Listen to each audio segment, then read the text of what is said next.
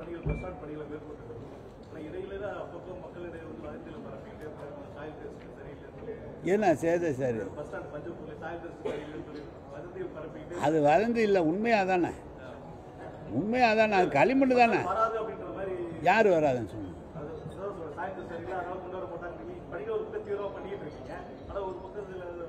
ஒன்று அவங்க சொல்கிறத நம்புறத ஒரு பக்கம் போடுங்க நான் சொல்கிறத ஒரு பக்கம் போடுங்க. நீங்கள் உங்களுக்கு வேலை முடியும் அவ்வளோதானே போடுங்க. ஏன்? சார் முதலமைச்சர் சட்டமன்றத்தில் ஆரம்பித்து முதலமைச்சர் கையெழுத்திட்டு முந்நூற்றி தொண்ணூறு கோடி முதல் கட்ட பணின்னு ஒதுக்கி அரசாணை வெளியிட்ட ஒருபாடு வராதுன்னு சொல்கிறவங்களுக்கு நான் பதில் எப்படி சார் வைக்கிறது அது ஒன்றும் இல்லை அது அவங்க பாட்டுக்கு அவங்க சொல்லிக்கிட்டே இருப்பாங்க நாங்கள் பாட்டுக்கு நாங்கள் வேலையை பார்த்துக்கிட்டு இருக்கோம். இதுக்கு என்ன சார் இருக்கு? அதில் என்ன இருக்குது சார்? எது எது?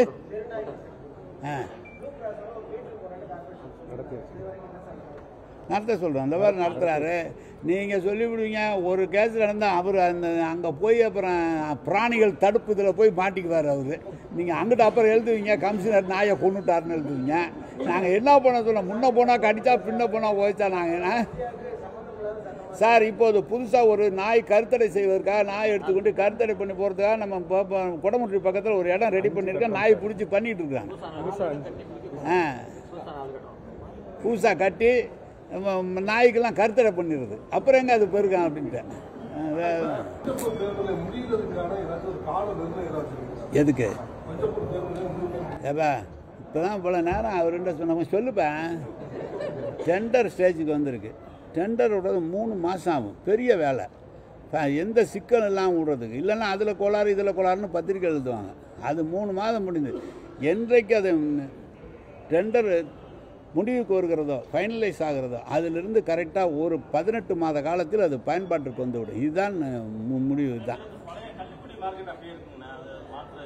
நீங்கள் சொல்லுங்கள் ஒரு ஐடியா என்ன செய்யலாம்னு சொல்லுங்கள் நாங்கள் கேட்குறோம் நீங்கள் சொல்லுங்கள் நீங்கள் சொன்னால் கேட்டுக்கிறேன்.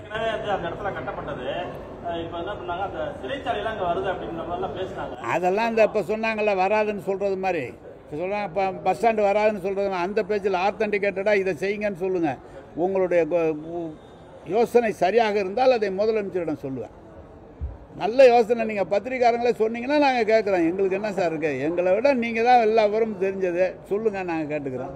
வணக்கம் வணக்கம். கடந்த கால மழைக்காலத்தில் சென்னை முழுவதும் வெள்ளத்தில் இருந்துச்சு போய் இரவு பகல் பார்க்காம நீங்க ரசிகம் எல்லாம் பார்த்தீங்க.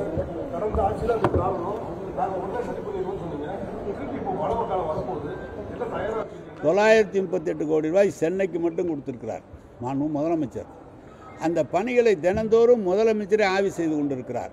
திருப்புகழ் கமிட்டி என்று அமைத்து திருப்புகழ் கமிட்டி அதை போய் ஆய்வு செய்து எந்தெந்த இடத்தில் இணைப்பாக இல்லாமல் இங்கே கட்டியிருக்காங்க இங்கே கட்டியிருக்காங்க இணைப்பு இல்லாத இருக்கிற இடத்தையெல்லாம் கண்டறிந்து மழை காலத்துக்குள் அதையெல்லாம் சரி செய்ய வேண்டும் என்று முதலமைச்சர் உத்தரவிட்டிருக்கிறார். எனவே அந்த பணி தீவிரமாக இருக்கிறது. நீங்கள் நினைக்கிற மாதிரி ஒன்றும் இருக்காது நல்லா இருக்கும். மக்கள் நலன் சார்ந்த அமைச்சர்கள் யோசிக்கிறது ஊழல் சார்ந்து தான் யோசிக்கிறாங்க அப்படின்னு சொல்லி சொன்னாரு. ஊழல் சார்ந்துன்னா? ஒன்றுதாக பண்றதை பொன்றதாக சொன்னால் இதை பற்றி பேசலாமா?